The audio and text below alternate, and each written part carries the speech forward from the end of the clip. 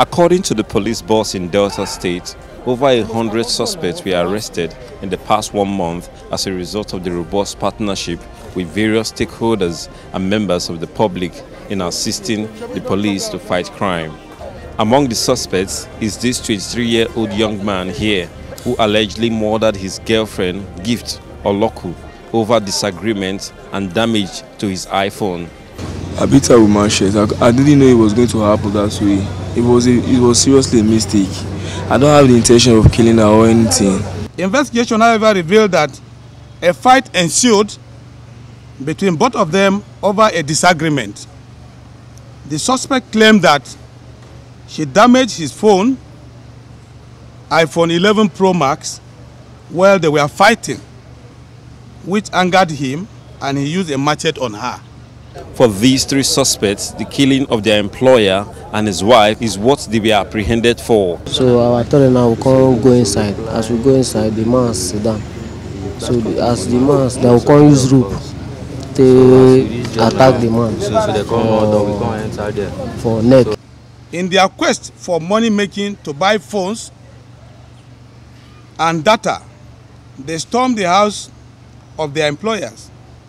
That is the victim, the two victims, the man and his wife. They robbed them, and during which they killed the couple. Two of the suspects, Chukwudi Sunday and Yomachi Paul, also raped the man's wife even before they killed her. On parade here also are these pregnant young women rescued from a baby factory syndicate who sell babies born by the young ladies, five suspected tricycle thieves, and this man who killed his 18-month-old son for ritual and over 70 cultists. The Abuja residence of the APC vice presidential candidate has continued to receive more guests since its emergence as the running mate to Asiwaju Bola Tinubu in the 2023 presidential election. The most recent is the APC caucus of the House of Representatives, led by the Deputy Speaker Ahmed Idris Wase. Consider the Parliament of the House of Representatives uh, being our own product uh, from the Parliament. Uh, all of us, and I don't believe there's anybody, even among the PDP, that will go out to work against you. We work hard to ensure the success of this party because this is the first time we are having a presidential candidate from the Senate, the former senator, and then having a vice president from the Senate. Senator Shettima, having appreciated the federal lawmakers for their congratulatory visit, used the occasion to appreciate President Muhammadu Buhari for providing a level playing field for the most populous aspirant of the party to emerge at the primary. We have to celebrate our president. The first time in living history that a sitting president showed no any preference and provided a level playing field for the most popular candidate. He also called on political leaders to unite for the benefit of Nigerians. We have to unite as a people, irrespective of differences in political affiliations, religious persuasions, tribal or sectional backgrounds to save our nation, to serve our nation. Gombe State Governor was also on hand to congratulate the APC vice presidential candidate. He says Senator Shettima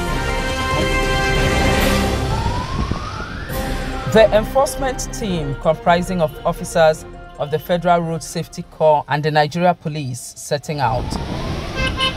The team's destination is Lekki, Lagos Island, and environs. Finally, they made the Lekki toll gate the enforcement point.